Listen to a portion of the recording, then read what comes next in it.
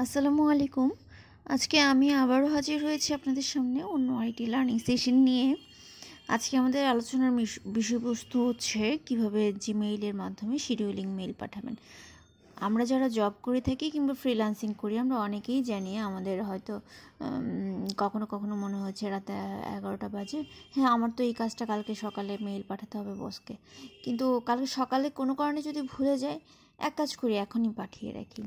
সেক্ষেত্রে জিমেইল আপনার জন্য এমন একটি অপশন রেখেছে যেটা আপনি রাত আজকে আজকে রাত এগারোটায় আপনি মেইল পাঠাবেন, কালকে ঠিক সকাল দশটায় অথবা কালকে ঠিক সকাল এগারোটায় অথবা আগামী এক সপ্তাহ পরে ঠিক এগারোটায় কিংবা আগামী এক বছর পরে ঠিক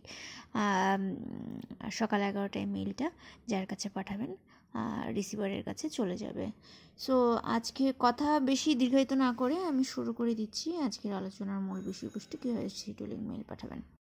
প্রথমে আপনি আপনার জিমেল অ্যাকাউন্টটি লগ ইন করে নেবেন স্ক্রিনে দেখতে পাচ্ছেন এটা মেইল কম্পোজ করার জন্য অপশনে যাবেন। মেইল অ্যাড্রেস টাইপ করার পরে আমাদের সাবজেক্ট লাইন লিখছি যে কি কি নামে আমার মেইলটা যাবে রিসিভারের কাছে। এখানে আপনি দেখছেন যে আমি টাইপ করছি। টাইপ করার পরে যেটা হবে যে আমরা তারপর মেল বডিতে কিছু একটা লিখব যেটা আমি আগেই লিখে রেখেছিলাম। জাস্ট এখানে পেস্ট করব। বাট আপনাদের তো লিখতে হবে, সেক্ষেত্রে সেভাবে লিখে নেবেন। সো আমি মেল বডিটাতে আগেই লিখে রাখা মেলটাকে পেস্ট করলাম। পেস্ট করে আমি আপনাদেরকে দেখাচ্ছি। এই যে স্ক্রল ডাউন করে দেখাচ্ছি।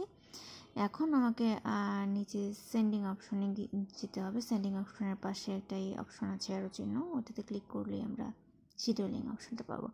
এখানে ডেট পিকিংয়ের একটা অপশন আছে, দেখতে পাচ্ছেন। ডেটটা পিক করে জাস্ট টাইমটা আপনি দিয়ে দিবেন। দেওয়ার পরে শিডিউল সেন্ড যে চাপ করলে চাপ দিলেই আপনার মেলটি চলে যাবে সেন্টারের কাছে নির্দিষ্ট সময়। আজকের ভিডিওটি ভালো লাগলে অবশ্যই লাইক করবেন কমেন্টস করবেন শেয়ার করবেন এবং সাবস্ক্রাইব করতে ভুল করবেন না। আজ এখানে আপনাদেরকে ধন্যবাদ দিয়ে শেষ করছি। আসসালামু আলাইকুম।